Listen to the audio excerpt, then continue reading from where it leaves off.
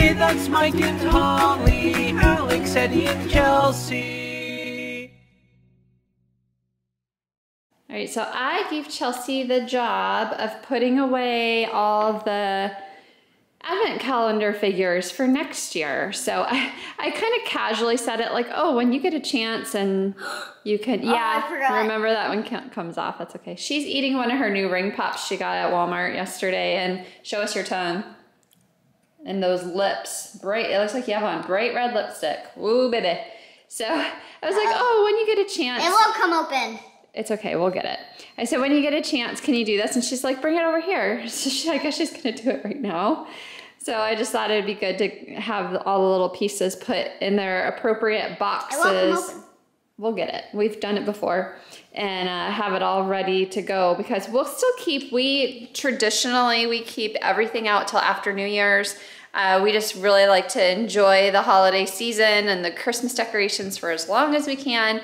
So New Year's Day or maybe the day after is when we'll take everything down. So we're looking at next weekend probably of taking everything down, putting everything away where it belongs, getting the Christmas tree out of here and cleaning everything up. So um, we're gonna enjoy it for one more week, but I figured this would be a good act, little activity for Chelsea to uh, to help out with.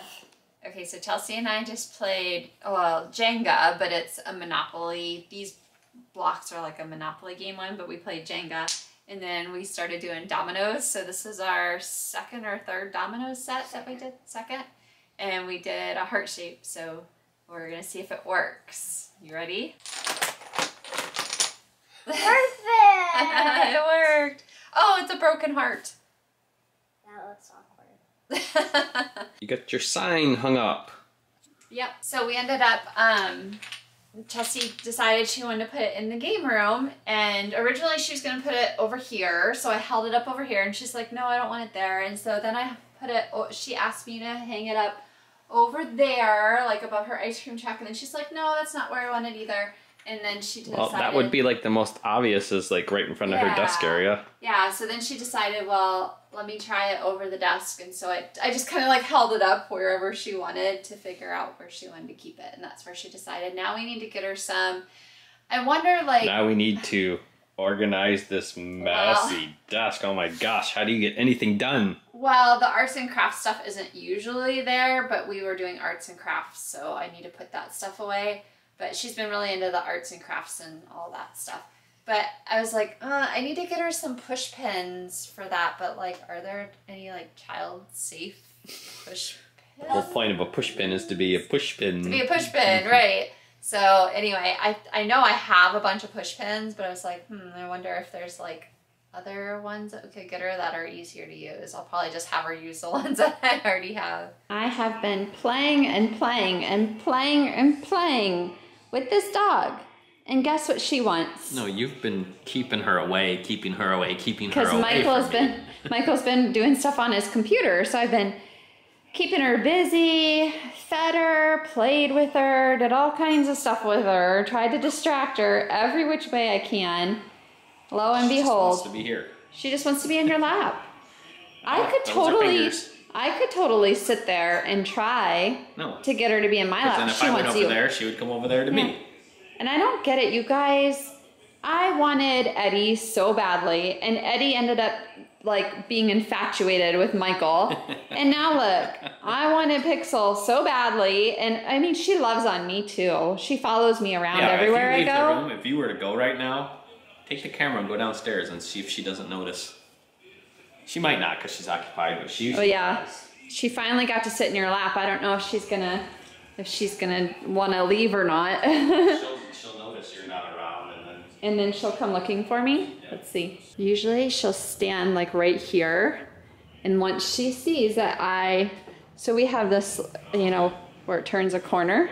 And as soon as she sees me go around the corner to go downstairs, that's when she'll, she'll come running. Nah, I'm scratching her. No, oh, well, no wonder. It won't matter. Even if I'm scratching her she notices you're gone. Yeah.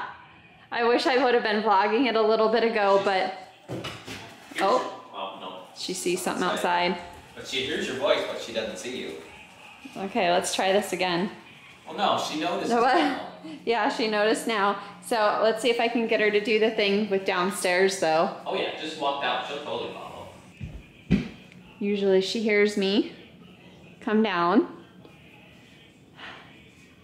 Of course, she's getting into something. I was gonna say, uh, she's probably like, nobody's watching me. Okay, and then she'll watch me. Picks. Hey. And but she'll stand there and watch me. She won't come down until she sees. Look, she's reaching. Mommy's gone. I gotta follow her. I gotta go see what she's doing. I've been doing laundry and she just keeps following me downstairs into the laundry room. We've got quite the intense game of tug of war going with her new moose she got from Santa. That's turned out to be a really good toy. She likes the crinkly sounds, I think, and she also likes to play tug with it. oh my goodness, you guys. Pop down, pop down. It's a good way Yeah. to. Yep, that's what she does. She plops down and wants you to drag her everywhere. It's pretty funny, but that's how she likes to play. She loves tug of war and loves to play. Oh no! Loves to play uh, fetch with the tennis balls downstairs in the long hallway.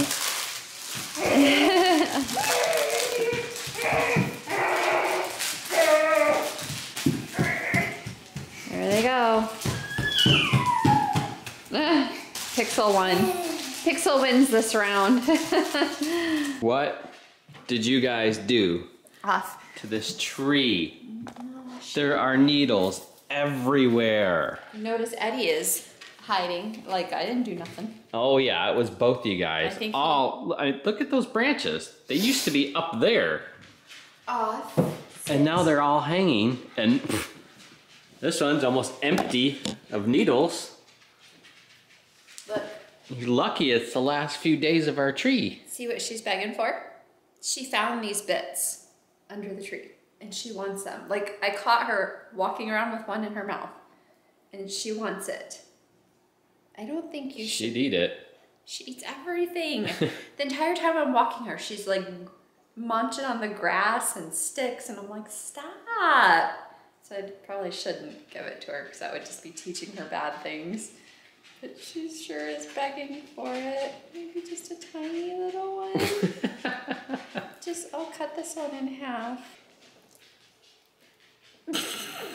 she takes it ever so gently like as if she's not about to eat it. Or maybe she's not gonna eat it. Maybe she just, wants to play with it. she wants to mouth on it. That's what she does with like a lot of the leaves that she finds outside. She just carries them around. She just wants to Yeah, have see, them. she's kind of ripped She's it just apart, spit it out. Nibbling, nibbling on it. Oh, nope, Uh-oh. that one's going down. Yep, So weird. she ate that one.